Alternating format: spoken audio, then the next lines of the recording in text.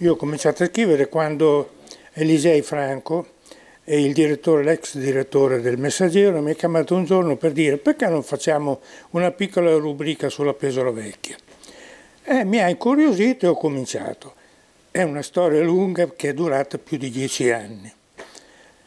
Nel, nel tempo, poi, quando il Messaggero è chiuso, eccetera, ho pensato che tutto quello che avevo scritto, che era una, una bella raccolta di, di, fatti, di storie, di personaggi pesaresi, eh, non poteva rimanere ad ammuffire nelle scansie della, della, delle biblioteche ad, come, come, articolo di, di giornale. Allora ho pensato di fare una raccolta.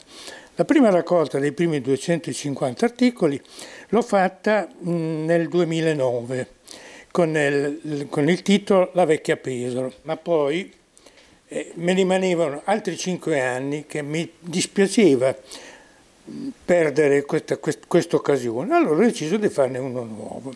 Questo nuovo che ho fatto un, sono racconti che ho dovuto intestare frammenti di storia per non fare confusione con quell'altro, però sono curiosità che eh, a chi piace la storia di Pesaro eh, sono, sono, sono, interessanti, ci sono storie di, eh, come posso dire, di, di di fatti avvenuti negli anni, so, la carboneria, le prime rivoluzioni sociali, eh, gli attentati al Papa, cioè sempre fatto qui nell'ambito nostro pesarese.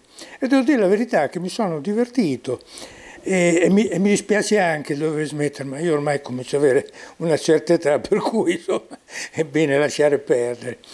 E, chi avrà occasione di leggere questi libri, questi due libri, eh, vedrà che ogni pagina c'ha un racconto, sintetico perché si dice zippato, in quanto eh, nel gergo giornalistico bisogna eh, scrivere poco e dire molto.